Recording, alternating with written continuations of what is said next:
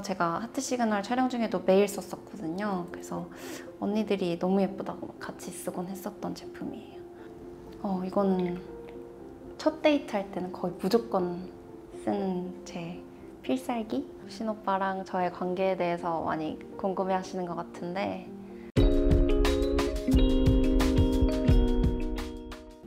안녕하세요 얼루어 구독자 여러분. 저는 최근에 종영한 하트 시그널 4에 출연했었던 김지민이라고 합니다. 아무래도 제일 많이 달라진 점은 나가면 많이들 알아봐 주신다는 것 같아요. 그게 믿기지가 않고 너무 감사하고 네, 하루하루 너무 벅찬 나날을 요즘에 보내고 있습니다. 가족들은 제가 연애하는 모습을 처음 보다 보니까 좀 뭐라고 하실 때도 있고 근데 그래도 되게 다 제 있는 그대로의 모습이 담긴 것 같다고 친구들도 가족들도 예쁘다고 많이 해줬어요.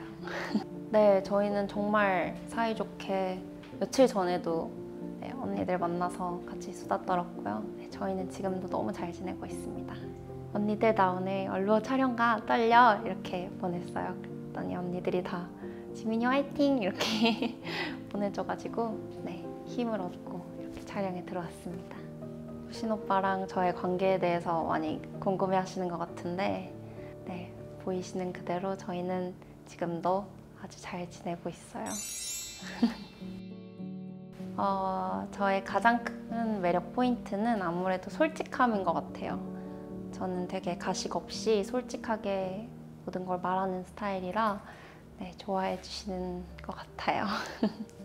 이것도 저는 되게 솔직함인데요. 마음을 숨기지를 못해요. 저는 좋아하면 좋아한다고 무조건 말해야 되거든요. 또 만약에 그렇게 얘기를 하지 못하는 상황이면 전 좀 애교가 많아지고 같이 있으려고 가까이 근처에 가고 막 그러는 것 같아요.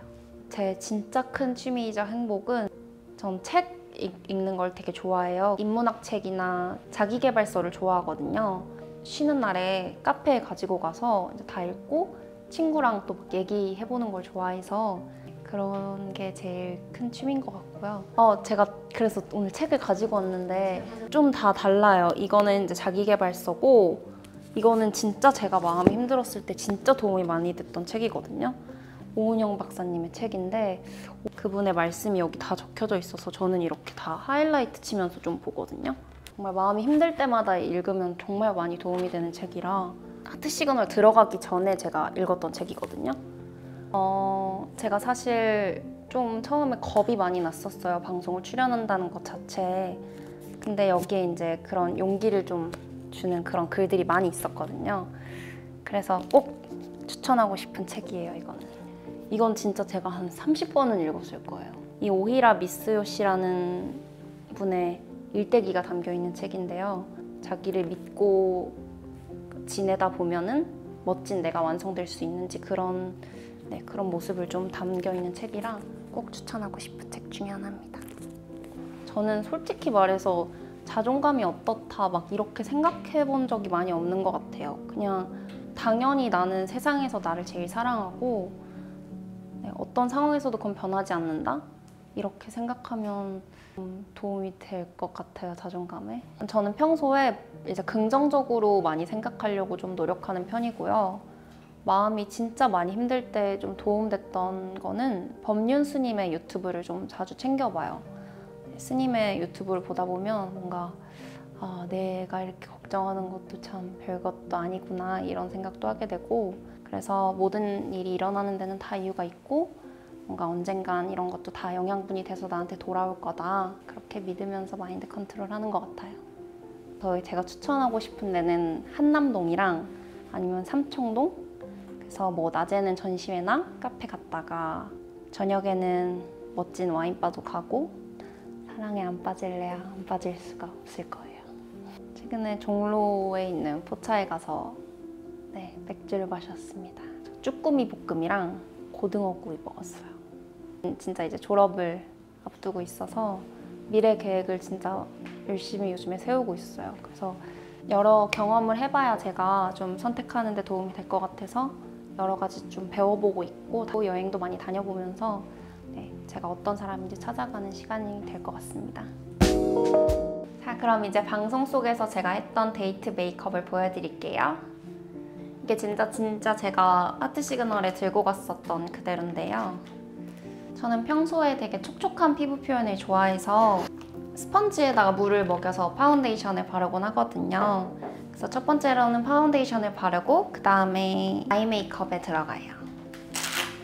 네, 저 브러쉬를 되게 많이 써가지고 근데 브러쉬랑 eyebrow 이런 게 다 여기 넣어서 다 들고 다녀요. 제가 좀 보부상이라 이렇게 다 있어야 좀 마음이 편안해지는 스타일이에요. 눈썹 먼저 그릴게요. 저는 컬러가 제일 중요한 것 같아요. 그 눈동자랑 머리 색깔에 맞는 컬러를 좀 쓰려고 하고요. 좀 부드러운 컬러를 많이 쓰려고 해요. Shading. 되게 연한 컬러로 shading해가지고 위에 것만 이만큼 닳았어요. 턱은 많이 쳐줘야 돼요. 다음엔 코 shading. 코 shading은 필수예요. 코 shading 놓칠 수 없어요. 제가 코가 뭐 아시겠지만 되게 좀 뭉툭한 편이라 조금이라도 날렵해 보여야 되거든요. 그래서 끝을 이렇게 조금 잡아줘서 아이섀도우를 할게요. 제가 또 쓰는 컬러만 써서 얘도 이거 두 개만 바닥이 나 있어요. 저는 eye 메이크업 되게 진하게 하는 걸 별로 안 좋아하고 음영을 주면서 되게 깊이감을 주는 걸 좋아하거든요. 일단 조금 연한 컬러 두 개 섞어서 위아래 다 먼저 베이스를 깔아줘요. 아래도 줘야 눈이 이렇게 좀 커 보여가지고 깊이감을 이렇게 주면서 중요한 부분 중에 하나가 전 애교살이라고 생각하거든요. 좀 도톰해 보이는 걸 되게 좋아해서 꼭 베이스도 같이 깔아주는 편이에요. 좀 더 동글동글한 브러쉬로 좀 더 진한 컬러를 위아래 다 해줘요. 포인트는 이렇게 웃으면서 애교살에 이렇게 해야 돼요. 또 애교살이에요. 애교살 앞머리를 이제 밝혀줄 거거든요. 이 하얀 컬러로 좀 도톰해 보이는 효과를 줄 수 있어요. 제가 진짜 좋아하는 건데 이거 제가 하트 시그널 촬영 중에도 매일 썼었거든요. 그래서 언니들이 너무 예쁘다고 같이 쓰곤 했었던 제품이에요. 근데 지금 연필깎이가 없네요. 이걸로 핑크빛을 확 주면 완전 애교살이 확 살면서 도톰해져요. 애교살이 많이 생겼죠? 저는 펜 아이라이너는 쓰지 않고 펜슬 라이너만 사용해요. 자연스러운 메이크업을 좋아하는데 또 할 건 다 해요.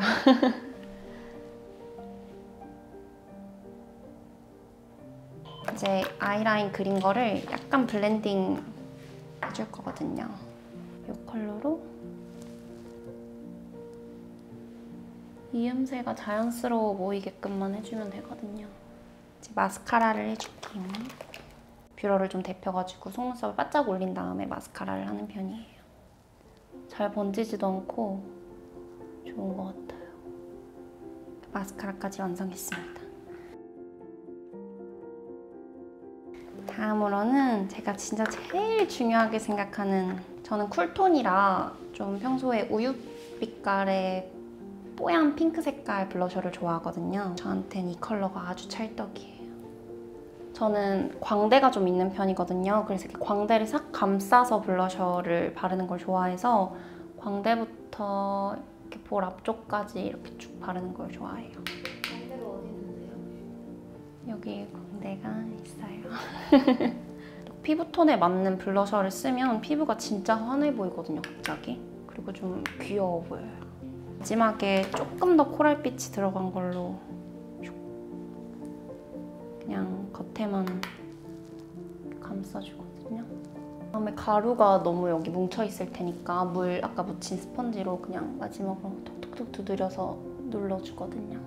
입술 전용으로 나온 이런 컬러인데 되게 자연스러워요, 입술에 올리면. 살리고 싶은 부분만 그냥 모양 따라서 살려주는 편이거든요. 좀 촉촉한 누드빛 컬러를 먼저 올리거, 올려요.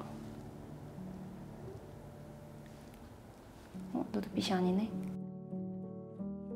다음에 마지막으로 전 좀 촉촉해 보이는 lip을 좋아해서 마지막에 꼭 립글로즈도 올려줘요. 이렇게 제 데이트 메이크업이 완성되었습니다. 네, 이번에는 제가 하트 시그널 방송 촬영 당시에 가져갔던 제 favorite 아이템들을 한번 소개해 드릴게요. 제가 이거 오늘 가지고 온 가방인데요. 요즘에 진짜 많이 들고 있는 가방이고 최근에 애프터 시그널에서 후신 오빠랑 데이트할 때도 들고 나갔었던 가방인데 되게 DM 많이 주시더라고요.